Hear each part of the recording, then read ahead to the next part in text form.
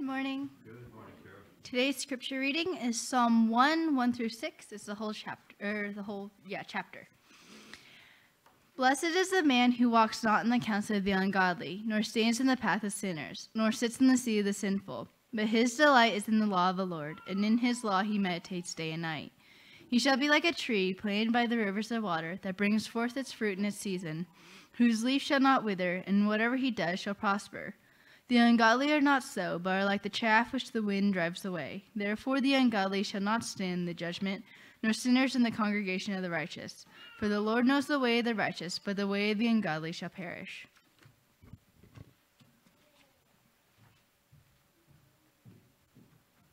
Thank you, Kara. I can't tell this story without reading it, so here goes. But this is a true story and a good one. Sir Isaac Newton had a replica of our solar system made in miniature. In the center was the sun, of course, uh, with its retinue of planets re revolving around it. A scientist entered Newton's study one day and exclaimed, My, what an exquisite thing this is! Who made it? Nobody, replied Newton to the questioner, who was an unbeliever.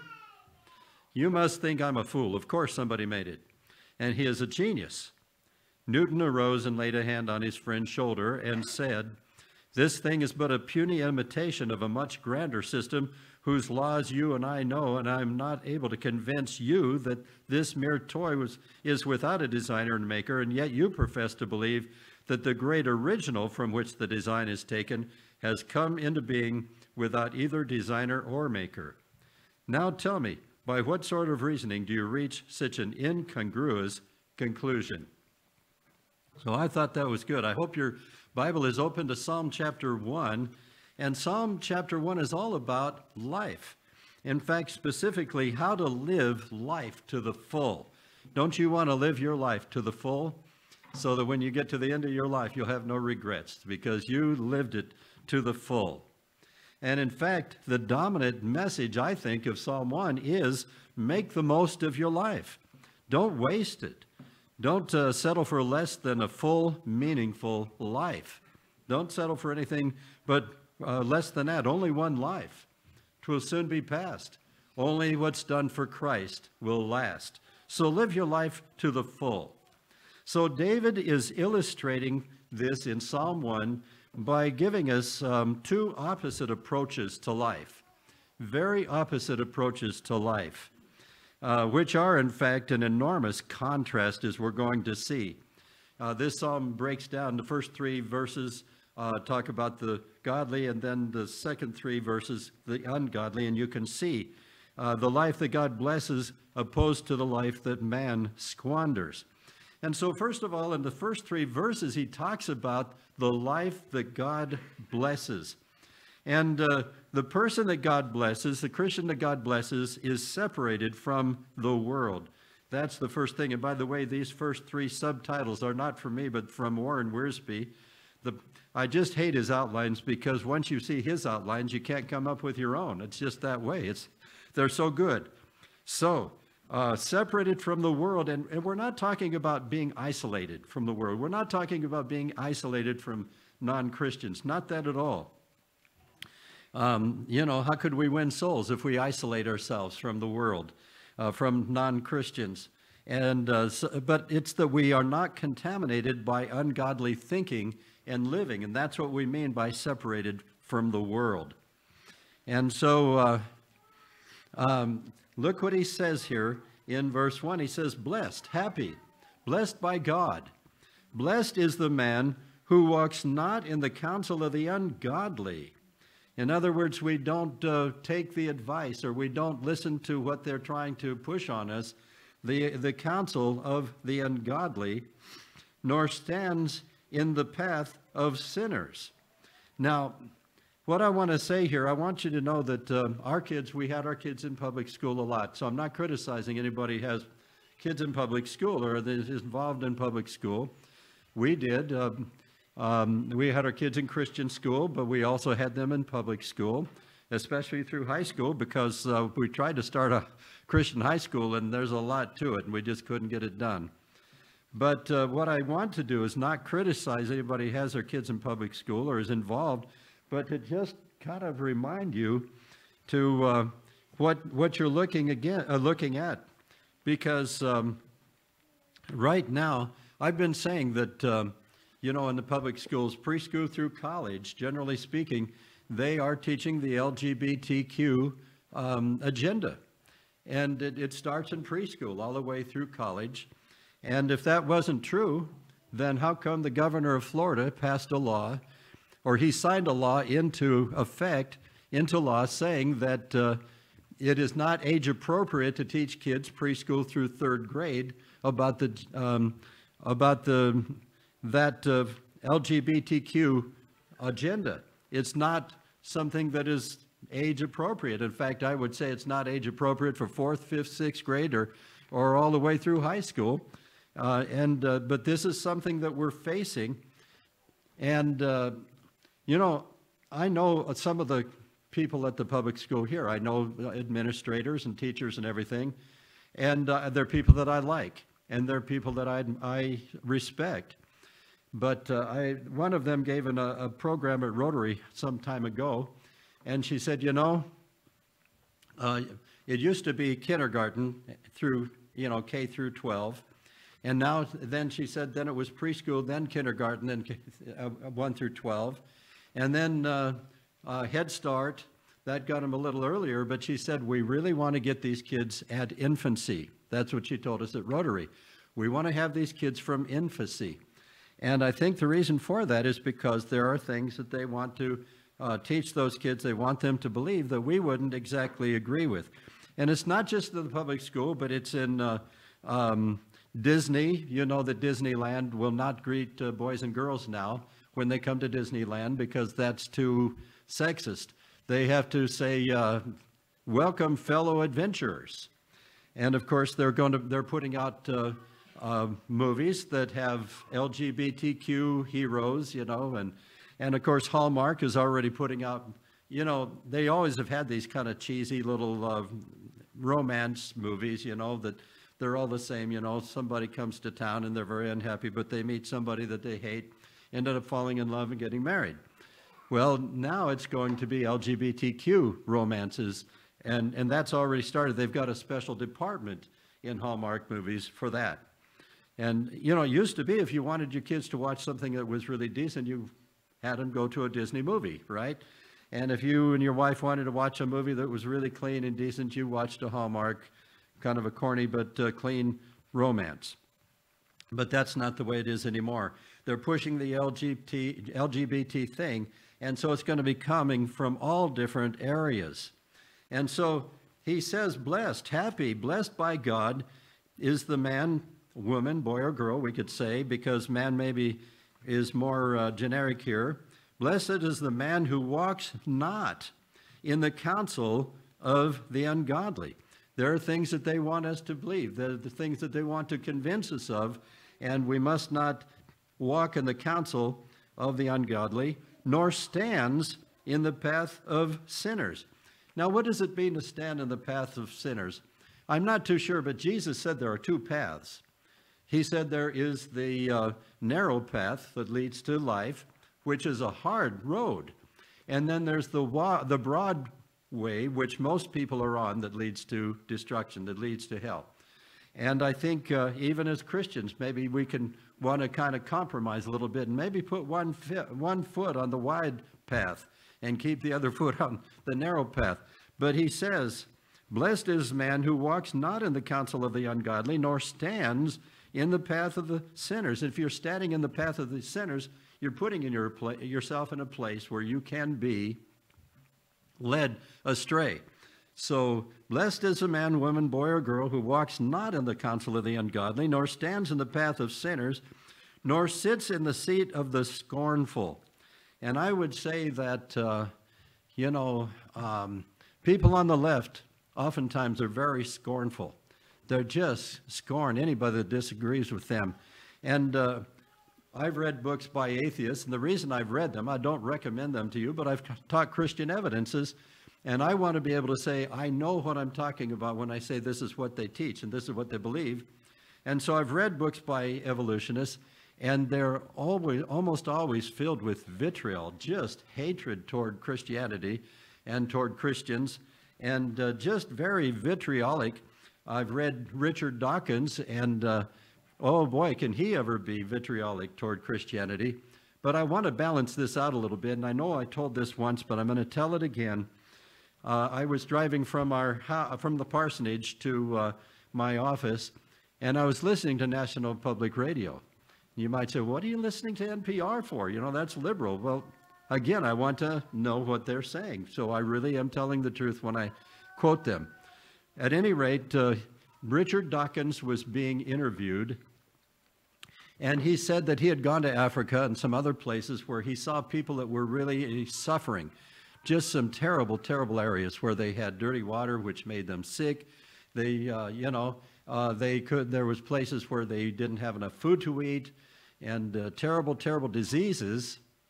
And uh, he said that uh, he thought, you know, we atheists ought to do something about that. We should uh, form an organization and uh, bring in some money so that we can alleviate some of that suffering. So he wrote letters to all of his influential atheist friends. And he said, Look, we've got to form an, a, an organization to alleviate some of this suffering. And he said that he got not one single reply from any of those atheists. None of them was interested in alleviating the, the suffering of those people.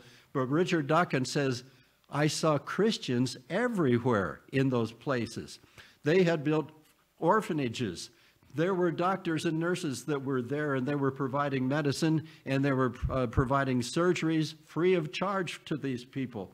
Uh, people were giving them animals to raise so that they could have their own industries and, you know, build up flocks and so on.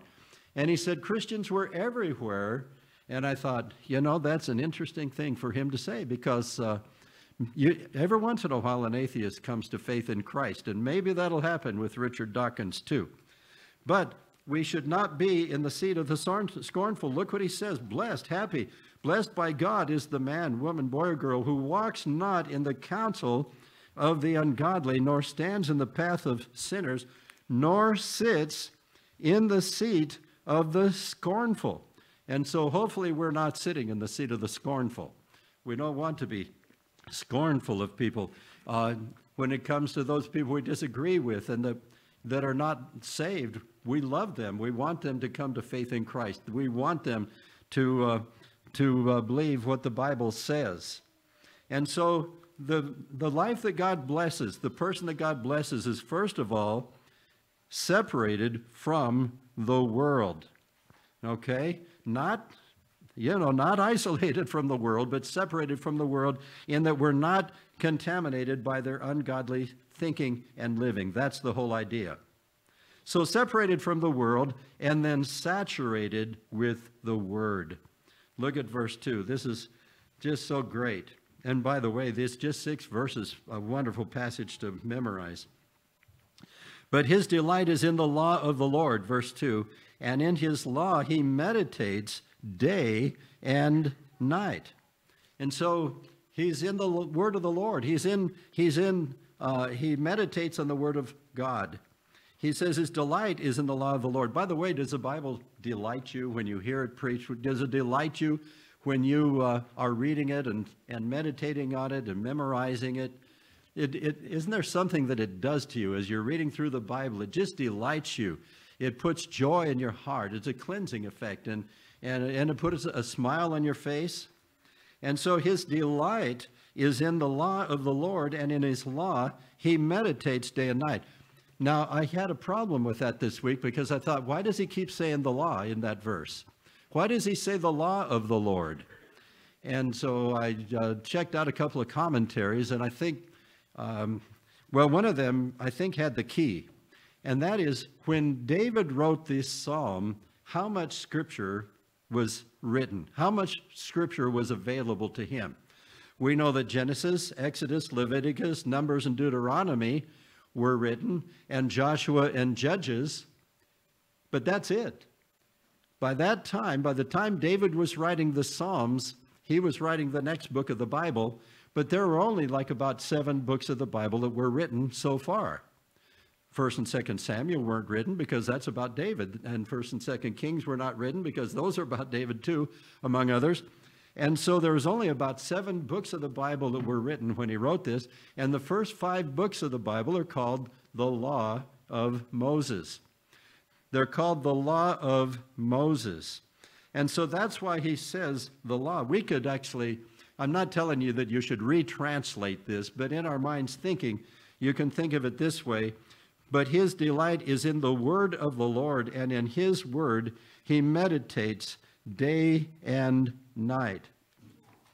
So we need to be saturated with the word. So, how do you do that? Well, first of all, you need to hear the word. Be in church on Sunday morning to hear it preached and, and taught in class. So, you need to hear the word, and then you need to read the word. And I would recommend that you read a chapter of the New Testament and a chapter of the Old Testament every day. Whether you read in the morning or in the evening, whenever you do you have your devotions, I would recommend you read a chapter in the Old Testament, a chapter in the New Testament every day, and that will be uh, helping you to be saturated with the Word. Then study the Word. There are people in this congregation that, stu- that study the Word of God deeper than I do, that's for sure. Uh, they go into very deep Bible study, and um, right here in this congregation. Whether you go deep or not, study the Word of God, and then fourth, memorize the Word of God. And I would recommend you memorize at least the first three verses of this psalm, because uh, this is a psalm that will enrich your soul, that's for sure. So uh, memorize the Word of God. And it's not easy to memorize. I'm re-memorizing Psalm 1, and I'm still struggling with it all, at, even, so I've, even though I've memorized it a couple of times already. But memorize the word, and I would recommend just the first half, the first three verses of Psalm 1. And then when you memorize the word of God, that enables you to meditate on the word. That is, you let it go through your mind over and over, and you think about it from this angle and from that angle. And uh, maybe you go through your commentaries, your, your study Bible, whatever. But you keep thinking new things about this, uh, about the word meditating on it, just uh, ruminating on the Word of God. So you need to hear the Word, you need to read the Word, you need to study the Word, you need to memorize the Word, you need to meditate on the Word, and you need to live the Word. You put it into practice in your daily life. And so you need to memorize, you need to meditate on the Word of God and live the Word of God. And then you need to declare the Word of God. These seven things hear it, read it, study it, memorize it, meditate on it, live it, and declare it. That would mean witnessing to someone who doesn't know the Lord. Help them to understand how to be saved, what it means to, uh, to accept Jesus Christ as Savior and Lord.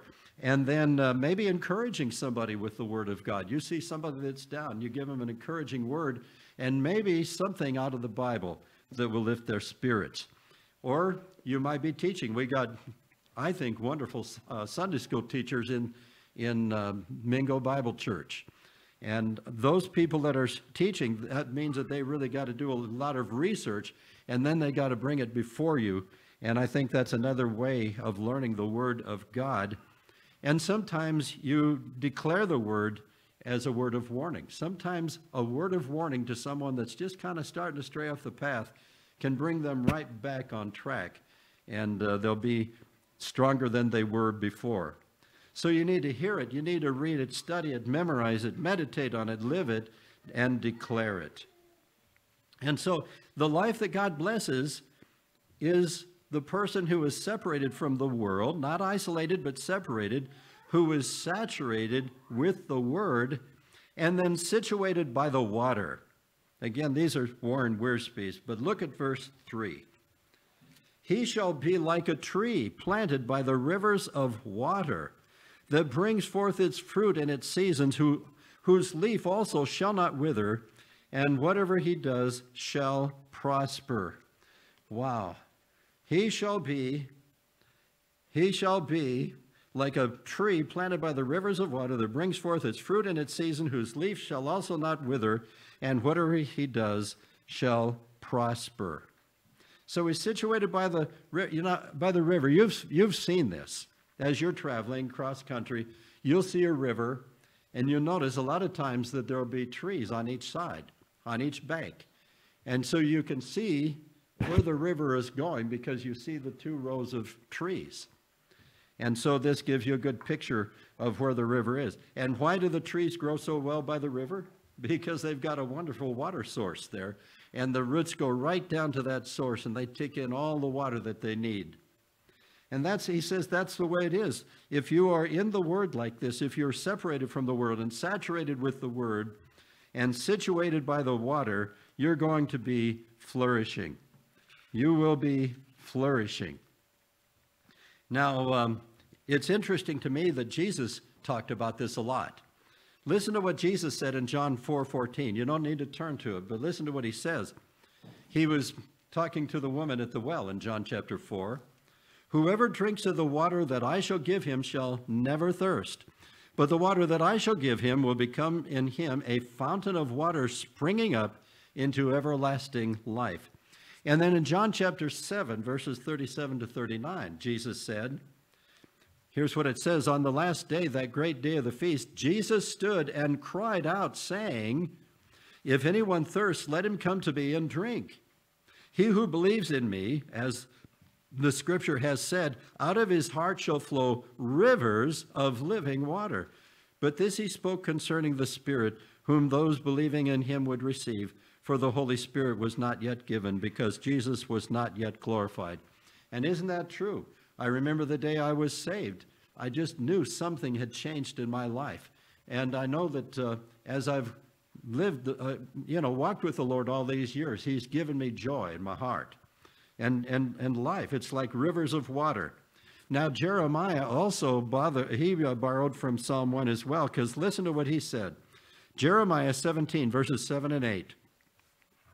Blessed is the man who trusts in the Lord and whose hope is in the Lord, for he shall be like a tree planted by the waters that spreads out his roots by the river, and will not fear when the heat comes, but its leaf will be green and will not be anxious in the year of drought nor will cease from bearing fruit. And so that's what he says. The life that God blesses is a life that's separated from the world and saturated with the word and situated by the water. It's situated by the water. Now, here comes the big contrast. This is a gigantic contrast right here because verses 4 through 6 talk about the life that man squanders. The first three verses, the life God blesses, but this is the life man squanders. What a tragedy when a person squanders his or her life. But people do it all the time. You know people that are squandering their life, just throwing it away, not living for things of, uh, of eternity, but living for the pleasures of this life. And so here's what happens to the life that man squanders in verses 4 through 6. First of all, he's scattered by the wind. Now, these are mine this time. Took a dictionary and looked up all the S's and all the W's here and uh, tried to keep it like Wiersbe a little bit. But first of all, he's scattered by the wind. Look at verse 4.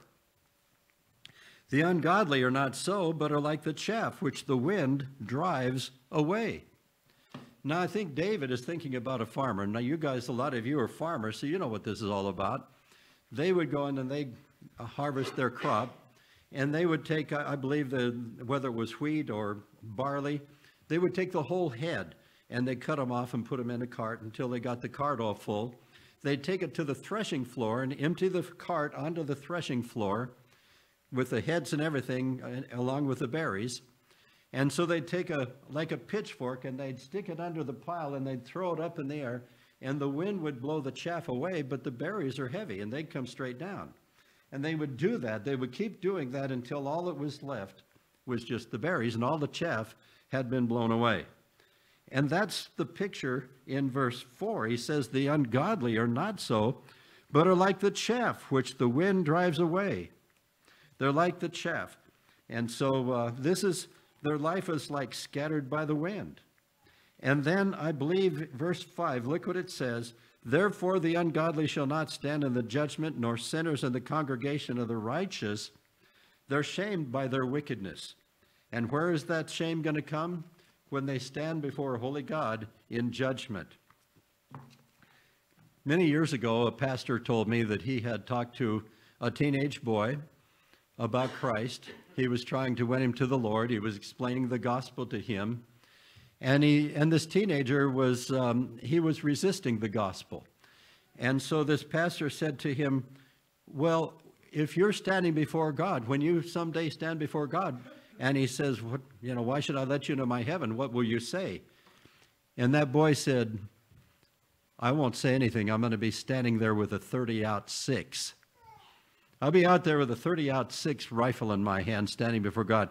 Well, what can somebody do with a 30 aught six rifle against God? God's going to be afraid of a 30 aught six rifle. And besides the fact he's not going to have that at the judgment seat, he's going to have his hands empty. Um, but you see, that was the attitude. He was just going to stand there with a 30 aught six rifle. But the, the point is, this boy, if he's never accepted Christ and uh, has gone into the presence of God, he's not going to be standing there that way. He's going to be on his face, realizing that he's thrown his life away. Now he's entered into eternity and it's too late. It's too late for him because at that point he cannot turn to the Lord. He can't say, Oh, Lord, I'm sorry, please save my soul now, because that's something that has to happen before we die. But you see, they're shamed by their wickedness, and this has to do with the judgment in verse 5, but I think it uh, also has to do with uh, the church too. Notice it says in verse 5 Therefore the ungodly shall not stand in the judgment, nor sinners in the congregation of the righteous.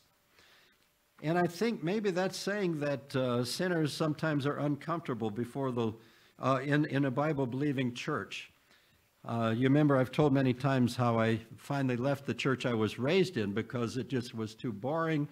Uh, it was, uh, it, it, they, they just didn't teach it. I never heard the gospel the whole time I was there. I didn't know there was a gospel. Honestly, didn't know there was a gospel. And so I started going to a Bible believing church, which was just across the alley from the church I grew up in. And of course, the first time I went there, I sat close to the back so that I could make a getaway at the end. You know, I didn't want them to get their claws into me, you know, and uh, start telling me how I'm going to live my life. So I was sitting toward the back so that I could make a quick escape as soon as church was over. Because sinners are not always very comfortable in a Bible believing, gospel preaching church. So, um, and this, I've seen this happen before too. My pastor that led me to Christ told us about uh, a man, he was our uh, janitor in, in uh, school. I can't remember if it was grade school or high school, but I think it was in grade school. And he started visiting the church, and he thought the pastor knew him and was preaching against him and, uh, you know, preaching about his sins. So then uh, he started uh, hiding behind the door. He'd come to church late and he'd hide, hide behind the door, and the pastor was still preaching about his sins. And so he'd start coming every other Sunday. And somehow the pastor knew when he was going to be there because he preached about this guy's sins. That because God was convicting him. Pastor had no idea. He, he didn't even know what this guy's sins were. But eventually he led this man to Christ. And uh, he became a very godly man, but he told the pastor about that after he got saved. And so that's, I think, what it means in verse 5 Therefore, the ungodly shall not stand in the judgment. I think they'll be on their face, and maybe we will too on when we meet the Lord in judgment, nor sinners in the congregation of the righteous. They just don't feel comfortable in a Bible believing, gospel preaching church. And so they're scattered by the wind, they're shamed by their wickedness, and then they're surpassed by the wise in verse 6. Look what he says For the Lord knows the way of the righteous, but the way of the ungodly shall perish. And so at the judgment, what does he say? The Lord knows the way of the righteous, but the way of the ungodly shall perish. If they don't come to faith in Christ, if they're not born again, if they don't get saved, then um, they will perish. Now, lest we get too proud, listen to what Paul says in 1 Corinthians chapter 6, verses 9 through 11. You don't need to turn to it, but listen to what he says 1 Corinthians 6, 9 through 11. Do you not know that the unrighteous will not inherit the kingdom of God? Do not be deceived. neither fornicators, nor idolaters, nor adulterers, nor homosexuals, nor sodomites, nor thieves, nor covetous, nor drunkards, nor revilers, nor extortioners will inherit the kingdom of God, and such were some of you. Paul writes to the Corinthians, such were some of you. But you were washed, you were sanctified, but you were justified in the name of the Lord Jesus and by the Spirit of our God. So, you see, uh, we don't, we ought not to get self-righteous. We better not get too proud when we think about the lost because we were there at one time, even if we were saved as children, we, there was a time when we were lost and uh, needed to come humbly and be saved through faith in the Lord Jesus Christ. But I just want to end this message on this psalm with this final closing exhortation. Go to your Bible regularly. Go to your Bible regularly. Open it prayerfully.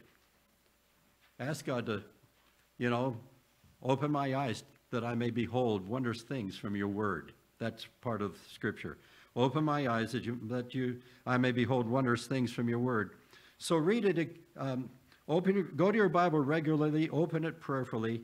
Read it expectantly, expecting a blessing, expe- accepting, expecting an exhortation, and live it joyfully. You know, we're, we're not to live in a legalistic way, but we're free in Christ, and we are to live it joyfully. Go to your Bible regularly, open it prayerfully, read it expectantly, and live it joyfully. So I'd like you to uh, just bow your heads for a moment again this morning and, and be prayerful, be thinking. And I just want to ask again if you're here today and you've never accepted Christ as your Savior, you can't remember a time when you came before the Lord and you said, Lord, please, I know I'm a sinner. If I died today, I know I'd be in hell. But I know that Jesus Christ, the Son of God, died on that cross for me, paying for my sins with his blood, paying for my sins in full. I know that he died a terrible death on that cross, but that he rose bodily from the grave, triumphant over sin and hell and death. Lord Jesus, you've made the way. Please forgive my sins. Come into my life and make me into a new person. I want to be born again. I want to be a child of God, born into your family by faith in you. You know, you can't work your way. You can't earn your way. You can't buy your way into heaven. There's only one way that you can enter into heaven or be saved so that you can enter into heaven someday, and that is to receive it as a free gift, bought and paid for already with the blood of Christ. And so you say, Lord, I receive that free gift that you purchased with your blood the gift of salvation, the forgiveness of all my sins, and the promise of eternal life, that when I die, that I'll be in heaven with you. Would you just tell the Lord that? Lord, I know I'm a sinner. I know I need to be saved. Please forgive my sins. Come into my life and save my soul. And he will. There's nothing you can do except receive it as a free gift and he will come in. The Bible says, Whosoever shall call upon the name of the Lord shall be saved. He doesn't say might be, but he says shall be. And if you trust him, the Bible promises that he will save your soul right here and now. And then you begin that wonderful walk. It's not always easy, it can be very difficult, but is that walk with the Savior, walk with the Lord in this life. And instead of squandering your life, you'll be living a life that God blesses as you read his word and as you walk filled with his spirit, as you walk um, in fellowship with the Lord, growing as a Christian day by day, he'll bless your life. You'll have troubles, yes, but even in the midst of the troubles, he'll be there to encourage and to bless you. If you've, if you've done that this morning, if you've told somebody, I mean, if you've asked God to save your soul, tell somebody, please. Just say, you know, I, I accepted Jesus as my Savior today. I trusted Him to save my soul. And that'll just make their day. They'll be so pleased. So, Lord, we just thank you that being a child of God doesn't mean being brought into some legalistic, unhappy, um, dreadful existence, but rather we become your children. You become our Heavenly Father. You are living in us. We've been made new. We're now more alive in you than we've ever been alive ever before. We thank you, Lord, that even when we have troubles and tragedies, which we will, you walk with us through those. We have you to be with us. But we also thank you that the fruit of the Spirit is love and joy, peace, patience, kindness, goodness, faithfulness, meekness, self-control. That it's a, it's a joyful walk. Even in the tragedies, there's a certain kind of joy we can have, even in the, the trials of life. Thank you, Lord. Help us to walk as these first three verses of Psalm 1 describe, I pray. And help us to help those come to Christ who are walking according to the last three verses, I pray. In Jesus Christ's name, amen. And now,